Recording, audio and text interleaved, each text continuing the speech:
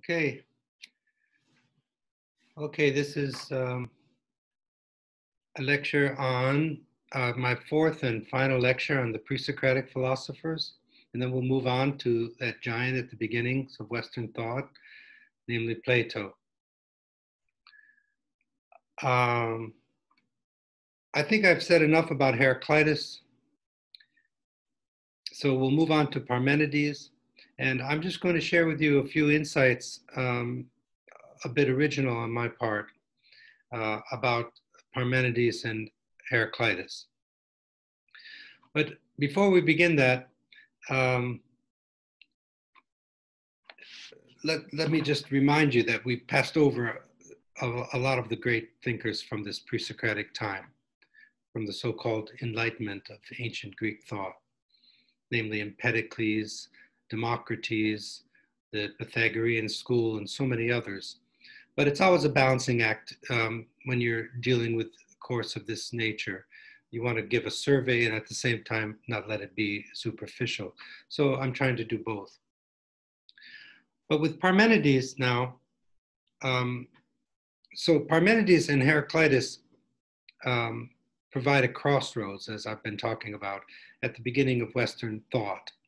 And um, so this is a new idea on my part. By the way, before I, I, I go on, um, a thought struck me this morning that I think might um, be worth sharing with you, because we've, we've been talking about the birth of philosophy, and the birth of something always reveals the nature of that thing. In fact, the very word, when we say the nature of something, we mean its its essence, its its whatness. I mean, the word nature can have has different meanings. It can mean the trees and the stars and the ground and water and so on, but it can also mean how something is, the whatness of things, the quiddity, as the philosophers call it. And so, if you can um, penetrate into the birth of something, then then you get close to the nature of something. Knowing the origin and the genesis of something helps you to understand its nature. So by penetrating into the birth of philosophy, we begin to gain a sense of what philosophy is. And I've always thought that philosophy shares something in common both with science and art. And um, because it shares something in common with science because it's a discovery. The philosopher is discovering something. But it also shares something in common with art because art is opening up new ways of seeing things art is creating new, something new. And so if you combine those two things, you have the pre-Socratic philosophers who were the first scientists, but they were also had one foot in this poetic wisdom, I told you, of the heroic age of the Greeks. They were sort of straddling both worlds. The poetic wisdom of the heroic age of the Greeks and this dawning of the age of man so there's something of the artist in these first thinkers. They're creating something new. And so philosophy is so, what is it that the philosopher is creating and at the same time discovering? How can you combine these two things, creativity and discovery? Well, it dawned on me that what the philosopher is doing then is creating new ways of seeing reality. They're just they're creating modes of disclosure. And so by assuming the optics of that thinker, by getting inside that thinker and looking at the world through his or her eyes, you're seeing new dimensions of reality, uh, of the essence of reality that were previously covered. So you have, it, but it dawned on me this morning that that's precisely what these pre-Socratics were, having one foot in science and one foot in art. They were discovering something, and at the same time, they were creating something. They're creating modes of disclosure. So by knowing the nature of something, the or, actually it's in the very word nature, nascere, means to be born, like nativity. And so if you can know the birth and genesis of something, then you can know its nature. So we're looking at the birth and early genesis of philosophy, and by so doing, entering into the nature of philosophy. Okay, so one of the great Eleatic philosophers who came about 25 years after Heraclitus was Parmenides. And he was at his prime about 475 BC and Heraclitus at 500 BC. So it's about 20, it's about 25 years later. And if you go carefully, I, I gave you, um, the reason I posted my lectures um, I read parts of them to you, but uh, there's no reason to read my lectures, uh, you know, that because I just read them to you. But the reason I posted it was I actually scanned the fragments of Heraclitus and Parmenides, and that way you could have the original text before you. I tried to just um, cut it out, but it wouldn't let me do it, so I just posted the whole thing. So you have all the fragments of Heraclitus. We have quite a bit, actually, and um, so the the fragments have like four parts. The first part is called the pre, uh, prologue, and then it has the way of truth and the way of opinion, and then there's some fragments toward the end, the last part, where have to do with the uh, the natural world and the origin of the natural world. So rather than go through all the, the text, uh, let me just make some comments and, and then I'll um, show you some, uh, talk about some implications, and then we can see concretely as, as we traverse um, the classical Greek period and then the Hellenistic period, um, and then on to early and middle and late medieval times, all the way to the dawning of the Renaissance. We can trace elements of the Parmenidean versus the Heraclitean worldview. So the thing I'd like you to notice at the beginning, uh, well, the poem was written in hexameter verse, so that that's interesting. It's poetry in that sense. So that's the foot that that Parmenides has in uh, the poetic wisdom of the heroic age. And if you read the prologue, you'll see how artful it is. And, but it's not mythology in the literal sense of the word, because the whole thing is a foil, it's a structure in order for him to articulate his philosophy. So, like I said before, these early thinkers were using poetic imagery, but not in the same way that the theological and epic poets were that came before them, those images were original disclosures. They're not metaphors or similes. But here we have someone who's fully capable of thinking abstractly. In fact, it's very abstract thinking. But at the same time, he's using metaphor and simile.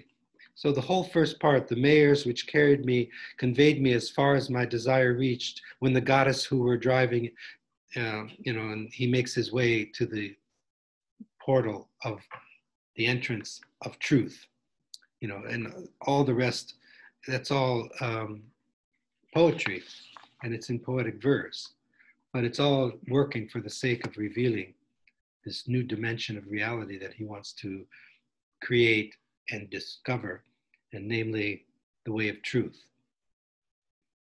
And the goddess received me kindly and took my right hand in hers, and thus she spoke to me young man, companion of immortal charioteers. By the way, Plato will utilize this notion of the this image of the charioteer in his great his great myth of the procession of the gods in um, the Phaedrus. Um, but we'll talk about that later when we come to Plato. So he makes his way with the charioteer, and they make their way um, to the portal.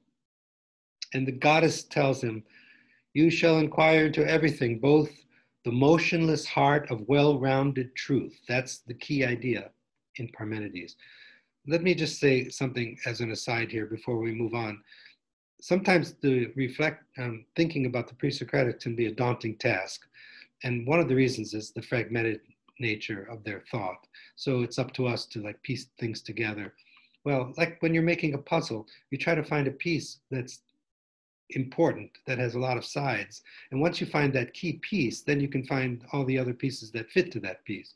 So, what, what I would suggest to you, not just with the pre Socratics, but any philosophy, always look for his or her ultimate concern. What is it that concerns this person ultimately? And then once you put your finger on that, then everything else will light up. And you'll find how to relate everything else. And this is all the more important with the pre-Socratics, so it's all we have are fragments, like putting together a puzzle. So this is the key idea in Parmenides. Well-rounded truth. So what is, and then he, the goddess tells him, I'm going to also tell you about the opinions of mortals. That's a very carefully chosen word. The Greek word for opinion is doxa. So there's episteme, which is knowledge, and then there's opinion, doxa. And so Heraclitus associates opinion with the multitudes, with mortals. But now he's going to give the mortals that are listening to him, as he claims, the truth. And also, she says, I'll give to you the opinions of mortals in which there is no true reliability. So there's something he wants to reveal that's most people pass by. That's going to be a hallmark of philosophy. It's going to be the key idea in Plato's famous allegory of the cave, which some of you have already studied. That the hoi polloi, that the, the multitudes, are passing by. What's most important. But nevertheless, the goddess tells him, Thou shalt learn these things, these opinions. Also, how one should go through all the things that seem. This is very important because we're going to see the history of Western philosophy, at least if you concentrate on the metaphysics, and the history of philosophy is essentially the history of metaphysics. There's always going to be, not always, but for the most part, a distinction between mere appearance, that is, that which seems, and then reality. And Parmenides is the great spokesman of this dichotomy that there's mere appearance and then there's reality. So the mere appearance is what the mortals see, reality is what the immortals know. And he's going to share with mortals this immortal vision. But this is something we need to hold on to, and you'll see it working. In fact, one could take uh, do an experiment. I've never done it, but you could just take the history of philosophy encyclopedia and open it at random. Close your eyes, open the book at random, and point, and start reading. And sooner or later, you're going to be reading about the difference between mere appearance and reality, if you're in the in metaphysics. That's how predominant this is. And they may use different words, like Immanuel Kant will talk about the thing in itself, the noumenal world, as opposed to the phenomenal world. Um, they'll use different words. But basically, it's reality versus mere appearance. So here we find the first talk of that. So the goddess is going to tell uh, him in the first, uh, this is number, the, as you know, the fragments are, are, are numbered. And with Heraclitus, we have 25 fragments. The last six are dubious, but um, so the first one is is key. It sets up the structure and um,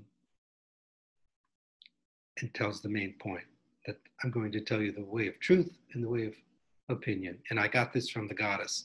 I made my way to the portal and of the divine. Come, she says to him, and you must accept my word when you've heard it. The way the ways of inquiry, which alone are to be thought. Okay, then he says what it is. And this sounds really strange, especially to the non philosophers, somebody who's not accustomed to thinking about metaphysical things. That the main point of the whole thing is um, that it is. I mean, that sounds so strange to people, but how can that be profound to say it is? But what does he mean by that? Once you unpack that, it's very profound. So this is the main idea that it is. Now, it refers to being with a capital B. Okay, that's important. Not being with a little b, but it might be that too. This is confusing. But for now, just think about being with a capital B, it. That's why he capitalized, they, they capitalize it. It is. And it is not possible for it, namely being, not to be. Okay, so there, there is no non being, it doesn't exist.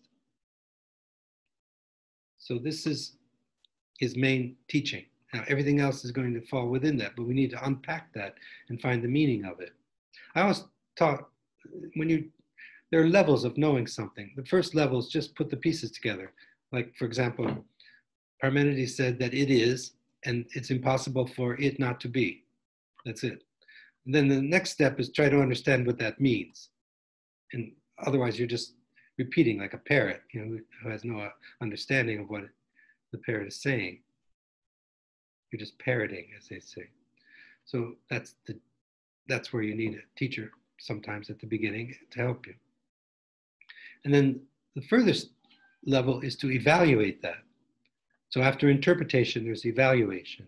You think about do I agree, do I disagree, why, and you, you do your critical thinking. And then there's another level where you assimilate your own evaluation of what you interpreted. So there are different levels of understanding. And each, each within those four levels, there's, I mean, you want to be precise at the first level. Second one, you want to give it enough energy and thought that you're unpacking the deeper meaning of it, that you really feel like you're in proximity what the author intended. That's the philological element. But the critical thinking part is to ask yourself, do I agree? Do I disagree? Why? Play it off other ideas, play it off your own observations of the world. And then you assimilate your own evaluation of the interpretation.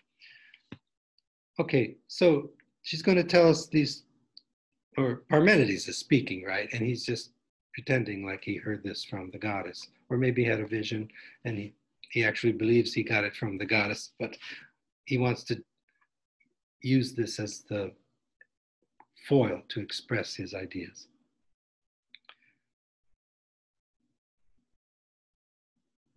So it's impossible for it not to be. This is the way of credibility, that, in other words, the way of truth, for it follows truth. The other, that it is not. So, what that means is non being doesn't exist.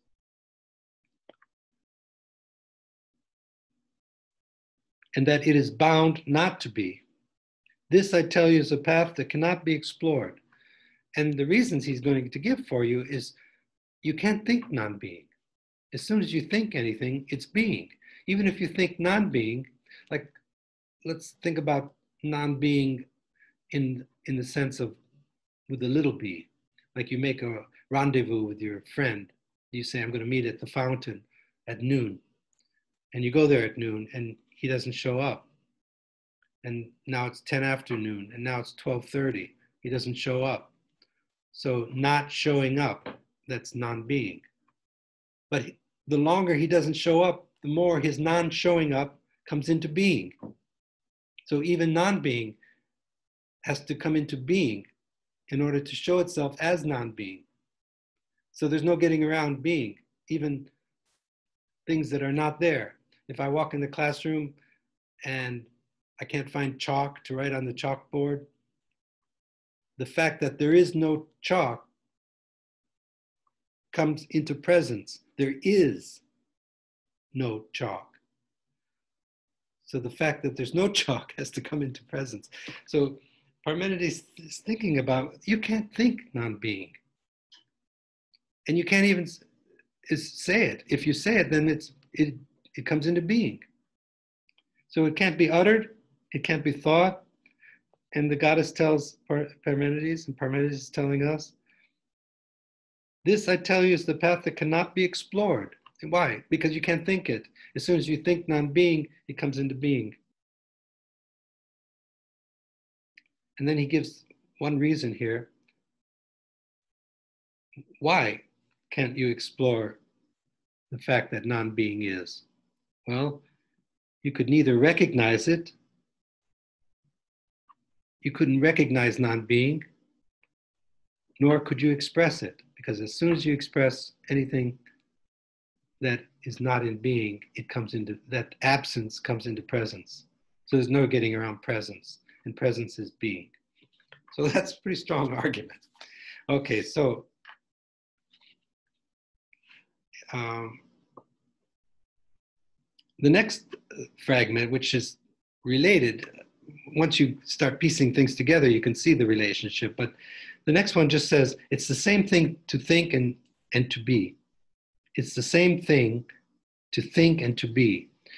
I remember Heidegger wrote a whole like 50 uh, page essay with ancient Greek, and it's really hard to even follow unless you've studied ancient Greek. But it's deep and profound. It's all on that third fragment. It's the same thing to think and to be. But let's not worry about Heidegger now. It just means that as soon as you think something, it is. And thinking and being are connected. I think he's the reason he that that fragment is there is that for reasons I just said earlier, that even if you try to think non-being, the thinking of non-being are one and the same, and then non-being comes into being. So it's the same thing to think and to be. So if I try to think non-being, then that thinking brings non-being into being.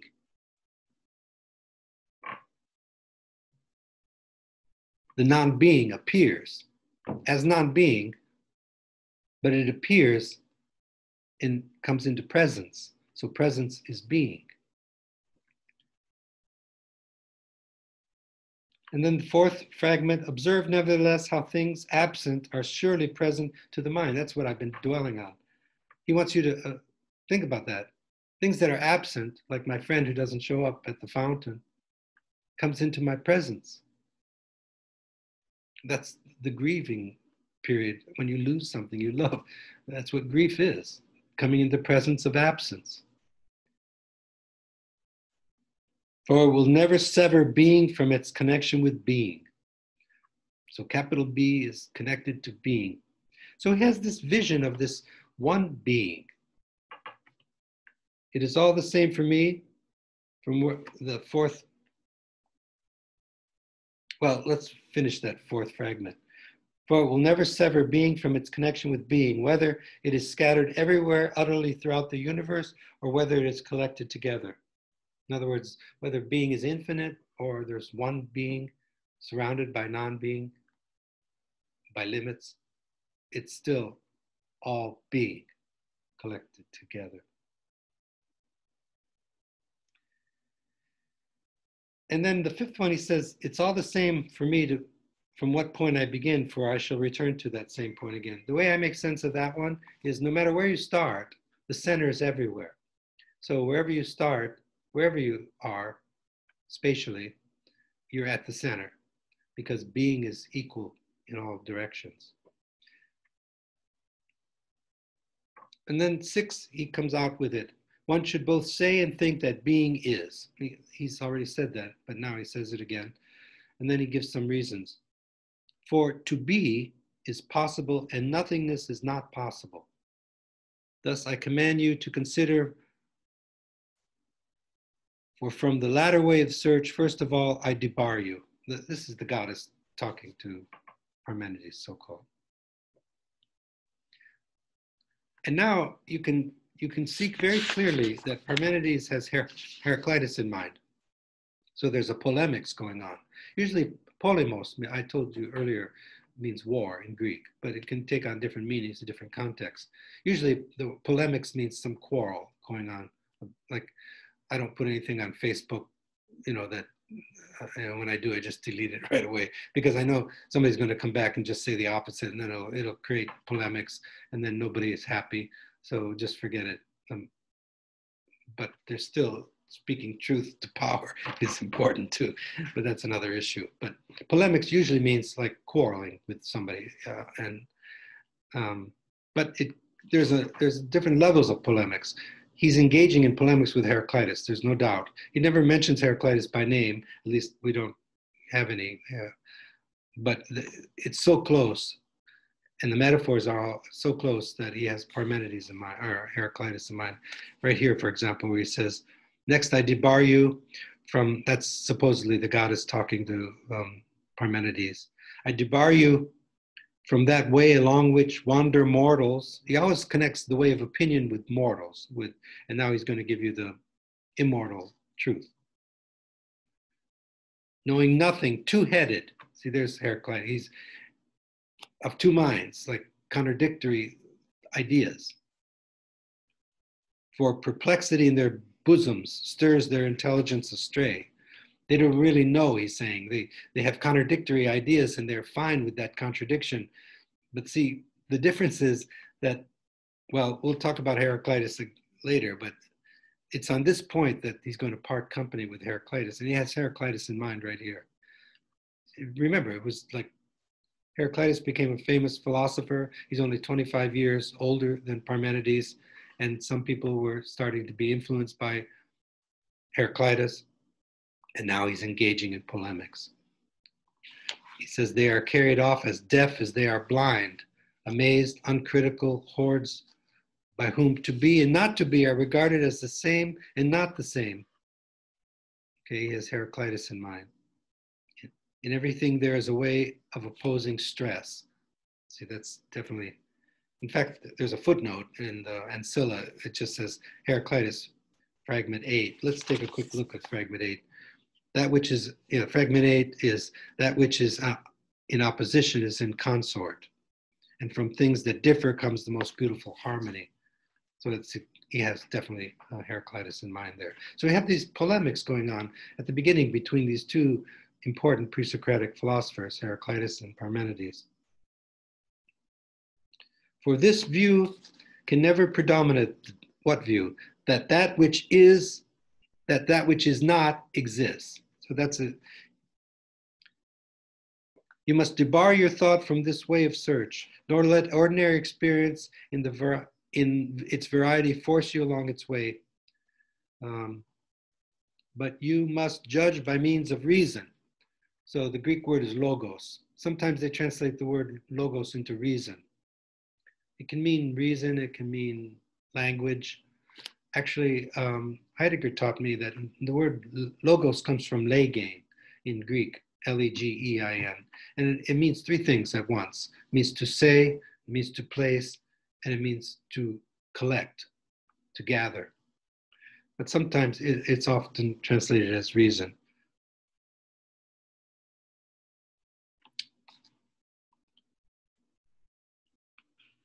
There is only one other description of the way remaining, namely that what is, is. That's funny because people say what is, is. It, it is what it is. That's one of the expressions that people uh, use today but it matters who says it, you know, in the context in which it's said. So now it's Heraclitus speaking, now it has some depth. To, the, to this way, he goes on, there are very many signposts that being has no coming into being and no destruction, for it is whole of limb without motion and without end, and it never was, nor it will be, if you go through this, uh, it's going to take us all day if I go through fragment by fragment. So I'm not going to do that. I'm just going to make some more comments. But let me just speak impromptu now a little bit without going too close. They call this exegesis of the text. When you when you get very close to the text. In fact, that that became my way. I tried to get even closer than than most people uh, because you know, as a philosopher, just saying what somebody said that's not really philosophy. That's philology, and that's an important first step but if you're going to really be a philosopher, then you have to come up with something original uh, to say. So the only one way I found my way is to see. Usually the philologists they have a very close reading of the text, but they don't have anything original to say. And then you have some philosophers who are not really reading the text carefully.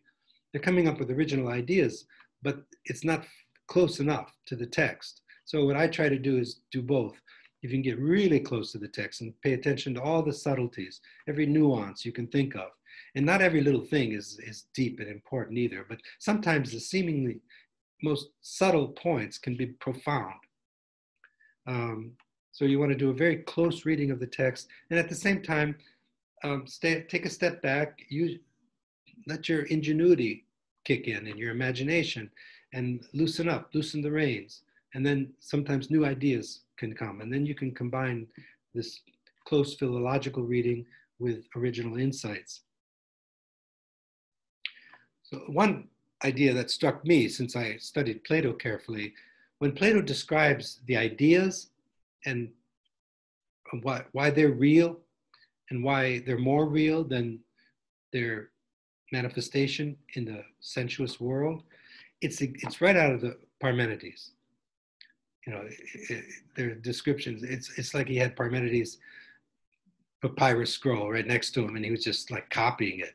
Uh, I mean, I'm not saying he plagiarized it or anything, but his conception of why the ideas are more real than the sensuous particulars.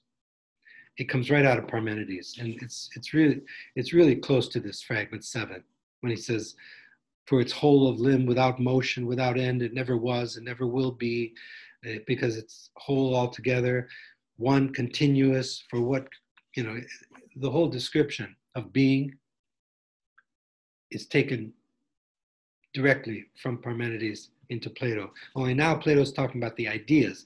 Parmenides is talking about the one being.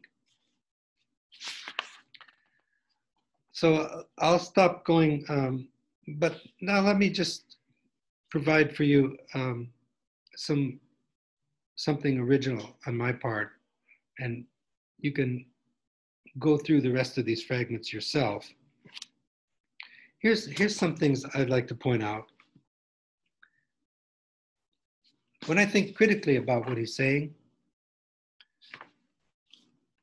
I find one big error in his thinking, Parmenides' thinking. And it's right here. It dawned on me yesterday. On page 44, let, let me just read a little bit for you and let, and uh, let me show you a, a, part where I find a hole in his thinking. No, no pun on the word hole, H O L E actually.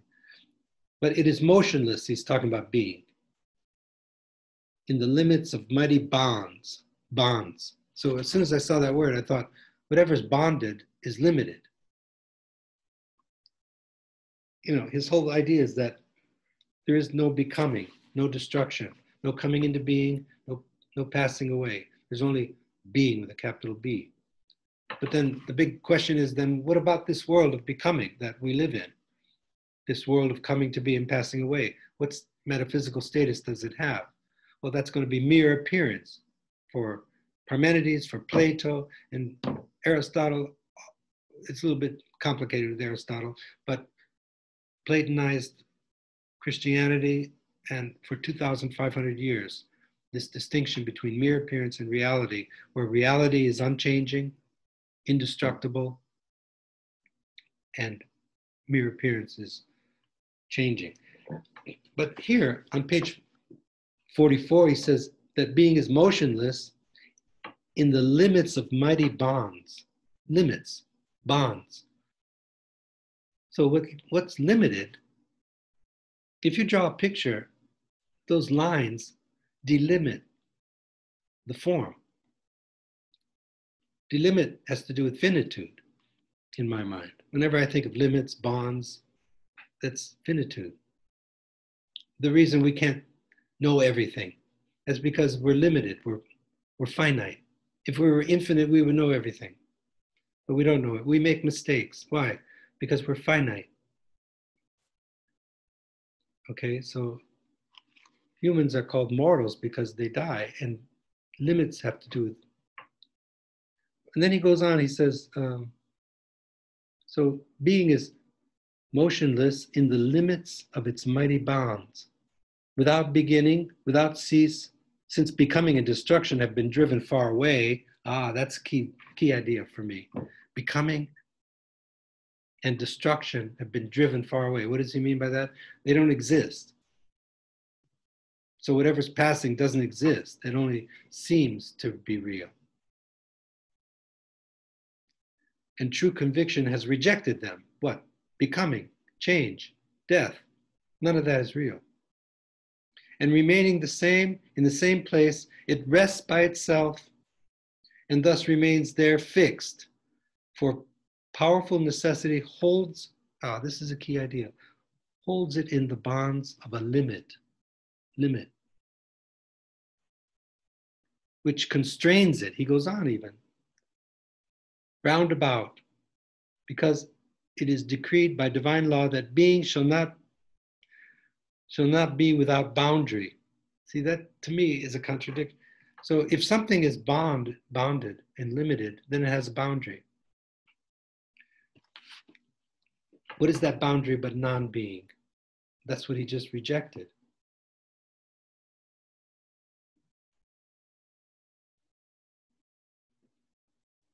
Where does he say that it's but since there is no spatial limit, well, see, they they put the word spatial in there, but the, the original Greek didn't have it. If you look on page 44, the word spatial is put in parentheses.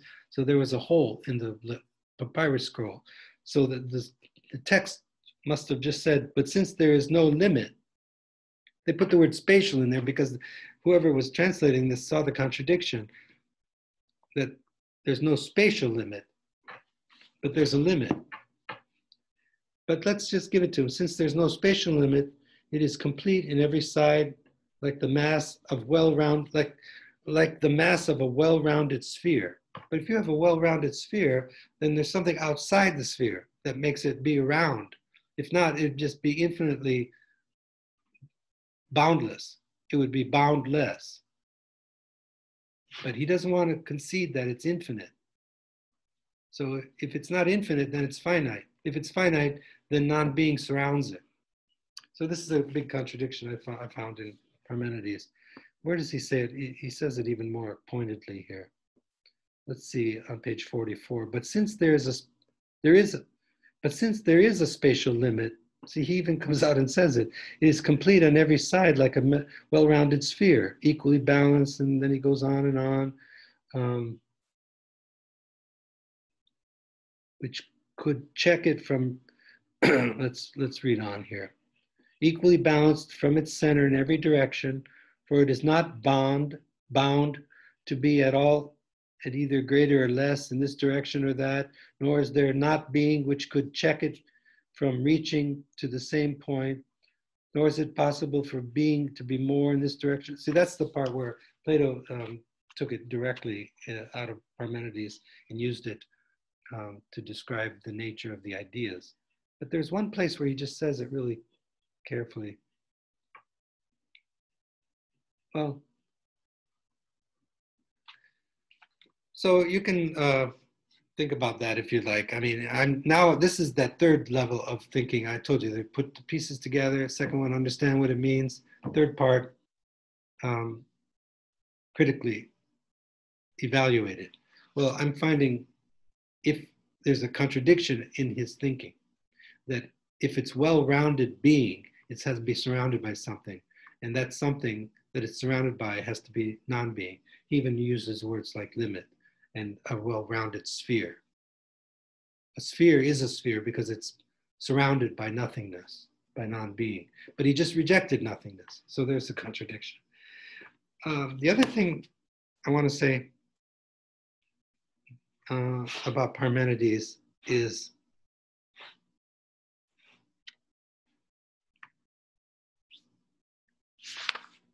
that it makes possible um, the principle of identity. So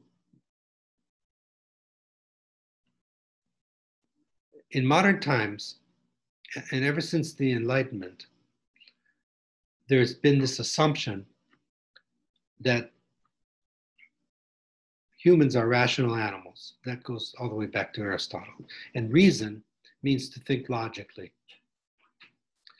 And logic is based on three assumptions, or three laws of thought, as they came to be called. And one is called the principle of excluded middle.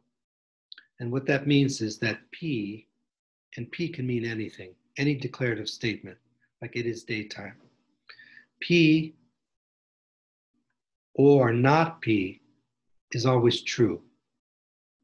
So it's it is daytime or it is not the case that it is daytime. That has to be true always. That's called the principle of excluded middle.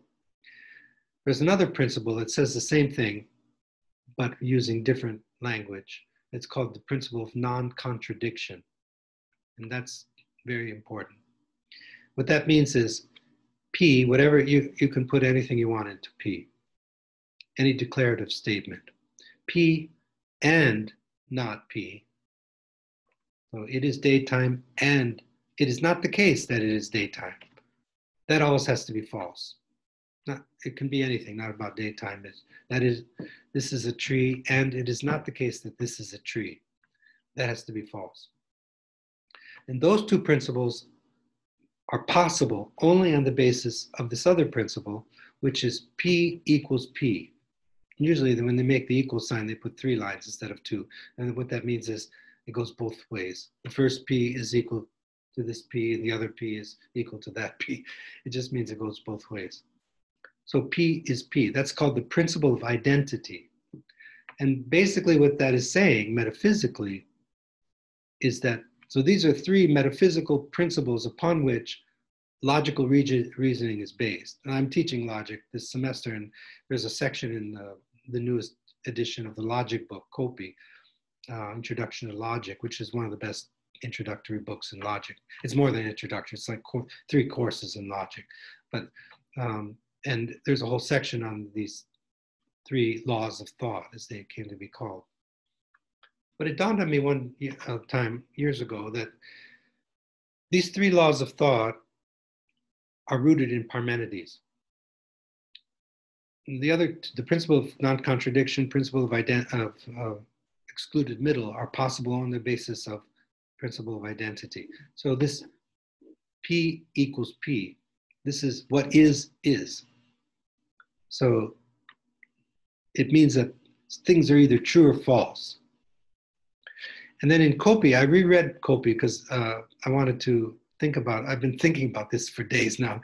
Uh, and um, Copi defends this, these three laws of thought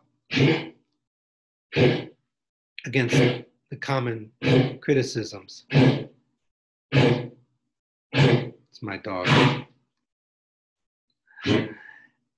And he says, one of the defenses against the law of non, non-contradiction is that people fail to distinguish the difference between contraries and contradictions. If you say it is daytime and it is nighttime, then those are contraries, and contraries can belong together. But the contradiction of it is daytime, it is is it is not the case that it is daytime. So that doesn't mean it's natural. It's not. It's nighttime. It's just not the case that it is daytime. So the print Copi pointed out yesterday when I reread that is that the, the criticism that the principle of, of non-contradiction can hold because there could be con- contradictory qualities in the same sentence, same proposition, is mixing up contraries with contradictions. Well, we don't need to get involved in this um, discussion about the legitimacy of the principle of non-contradiction and non uh, and excluded middle, but it just dawned on me in uh, years ago, and I still believe that this notion that propositions are either true or false, and that there's no gray in between, is based on the Parmenidean idea of the principle of identity. See, with Heraclitus, reality is a ceaseless flow of novelty, so no two moments can be the same. So there is no being with a little b, there's only becoming. For, for Heraclitus, there's being with a capital B. Let me tell you my own position on this notion of being and becoming, and then being with a little b.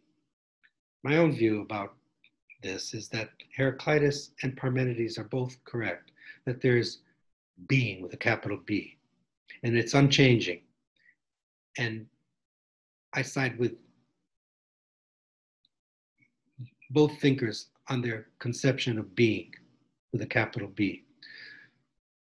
But I side with Heraclitus over Parmenides because I think non being exists. if that's the case, then being with a lowercase b only seems, there only seems to be beings with a lowercase b. In reality, there's becoming. When you, if you, so what, what Parmenides is doing is he's taking being with a capital B and he's lifting it out of the realm of becoming. This is the, it's a transcendent notion of being. It's not immanent. But it's possible for something to be both transcendent and immanent. In fact, people say that in theology all the time without really thinking about what it means. That God is both transcendent and immanent. That's one of the creeds of Catholic theology. So if God is immanent, or if the one is immanent, then it means God is here now. It's not far away. It can be both. In fact, it does it's bad theology to say that God is purely transcendent, because then God couldn't be omnipresent. If he were only transcendent, transcendent means not here, but in some other place, beyond here. So Parmenides is giving us a transcendent notion of being. And then what happens is the divine or being with a capital B, he's not, they're not thinking theologically here, but the one is God. By the way, do you see how these pre-Socratics are all in possession of the notion of the oneness of being? They're not polytheistic. That they got them in. By the way, you know, Anaxagoras was executed um, before Socrates. We'll, we'll, talk about that more when we uh, think about Socrates. But it was dangerous sometimes. It depends on how tyrannical the regime was in politics. If you said the wrong thing or believed the wrong thing and were famous, then you're punished. You could be punished. Okay, so they're all in possession of this notion of the one, even though they were living in a polytheistic uh, worldview. But the one of Parmenides is purely transcendent. So then we're, we're left with what to do with the world of coming to be and passing away. Well, for Parmenides, then, this is mere appearance. The world of coming to be and passing away is mere appearance. But there's a value judgment being made when somebody says that, because reality is more valuable than mere appearance. The very word mere is a value, excuse me, a value judgment. And this will dominate Western philosophy. There's a way, there's a way of talking about the one. My dogs again. There's somebody, they're, do, they're applying um, fertilizer to my lawn, organic fertilizer. okay, so that's why they're barking. So the, the one of Heraclitus is immanent and transcendent, whereas the one of Parmenides is purely transcendent. Let me just make one more point before we move on, and I'll close on this. It's about these crossroads. Uh, this is something I, I came up with myself because usually um, the study of the pre-Socratics is just trying to understand what all these people said, or someone like Heidegger who goes deeper, you know, tries to say, well, Parmenides, it looks like Parmenides and Heraclitus are talking about two different things, but both they're talking about being, you know, and that's Heidegger's main point.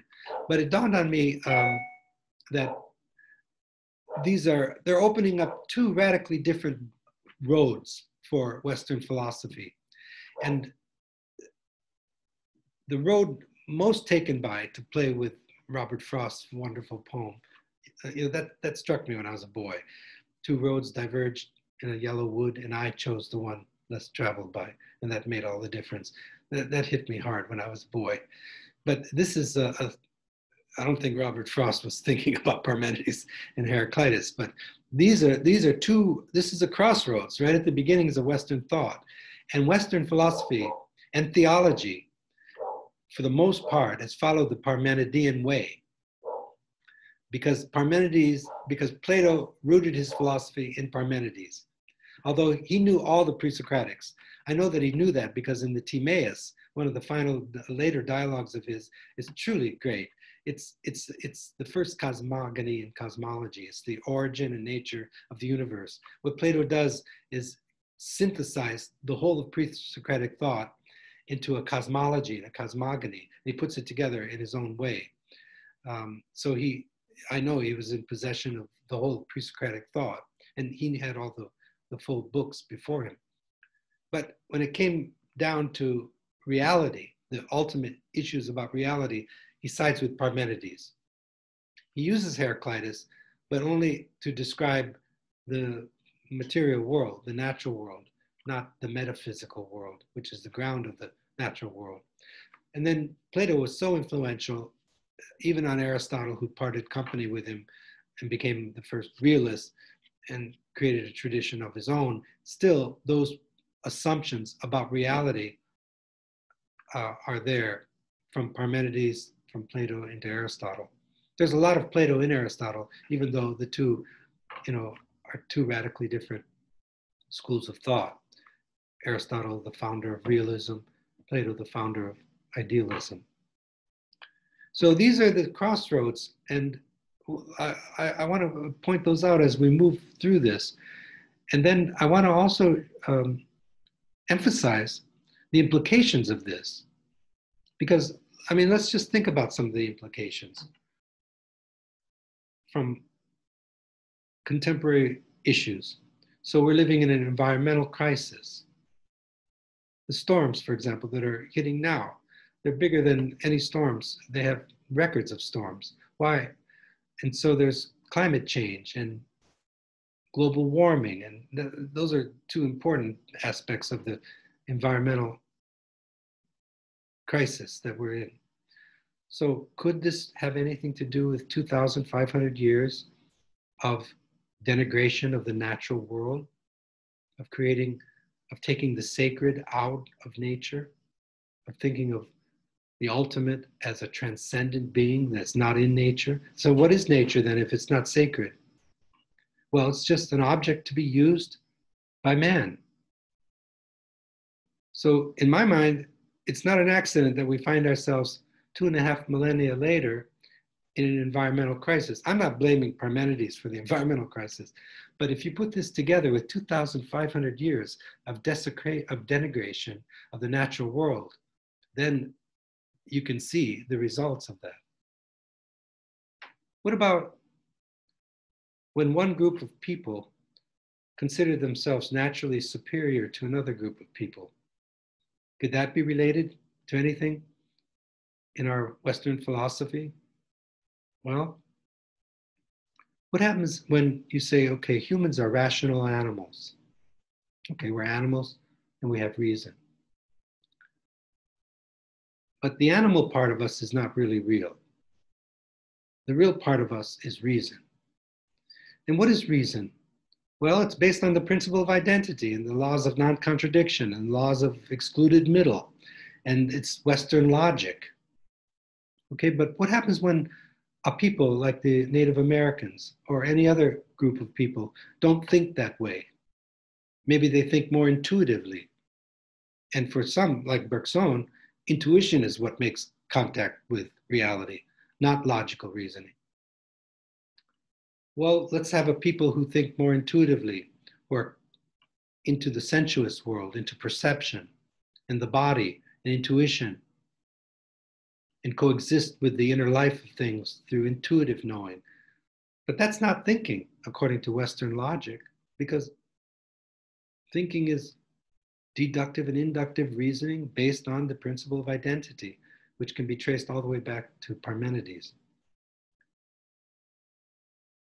Well, then, white men must be much more superior to any colored person who, or any, any Native American. So, white over color, men.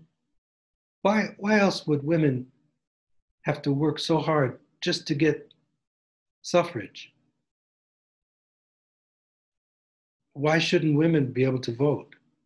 Well, they're emotional. They're, they're more, they don't have reason we can't allow women to decide the course of political decisions. and who's going to represent us. So we have 75 years of suffrage, and finally. So it seems to me that this narrow definition of what it means to be human is to think logically, and logical thinking is based on these three laws of thought can be traced all the way back to the principle of identity. That serves as a metaphysical foundation for bigotry and for chauvinism whenever one group of person of people consider themselves to be superior to another. What do they call the people who they think are, are inferior? Savages, animals. I see it even today when you when we watch movies and somebody wants to say the most horrific thing and the most hateful moment in literature or in film is an animal as though animality were something to be embarrassed about. Well, we're different from the animals. We have reason. And reason is either it's based on the principle of identity. What is, is. Okay. So these are some implications. I always like to look for the implications of ideas. Sometimes, as I said before, the implications are even more profound in, than, than the ideas themselves. So don't think that these abstract ideas have nothing to do with reality. Sometimes what I do is try to think about the practical implications of ideas and the relevancy, the existential relevancy of ideas. And sometimes, if you want to get to the root cause of things, you have to unmask the cause. And only when that cause is eradicated, then we can bring things back to well being, like a good doctor. They look at symptoms and they try to find the cause. Then they eliminate the cause, and then the symptoms dissolve. So, unless we find the cause of bigotry, the causes of racism, the causes of the environmental crisis, there's not going to be any more change. They can talk all they want, protest all they want, but it's not going to make lasting change. In fact, that's what I'm hearing a lot of people in the Black Lives Matter movement. They're saying it never changes. But why doesn't it change? Because we haven't gotten to the, and we speak of the systemic racism or systemic causes, but nobody gets down to the stem, to the cause. So unless we eradicate the cause, now I'm again, I'm not saying everything is caused from Parmenides and Plato, and but there is this tradition based on Parmenidean metaphysics that substantiates these atrocities. So we can't blame Har- Parmenides. We can't blame Karl Marx for what happened in Russia and what the Russians did to Marxism, for example. And in the same way, we can't blame Parmenides. But these are the implications of the trajectory. All right, so those are my thoughts on the pre Socratics we need to move on. This is a survey course nonetheless. So the next movement is Plato. And so read those um, parts of Plato that I will try to take something from the early dialogues, the middle dialogues, later dialogues. And um, I just love Plato. You know, you can love someone and learn so much from them and, and, and disagree with certain aspects of, of what they think. You know, so there's parts of Plato that I just completely disagree with, other parts that uh, my life would have never been as rich as it has been without Plato. He's just so great. He's a giant at the beginning. So you can't bypass this Plato. All right? All right, thank you.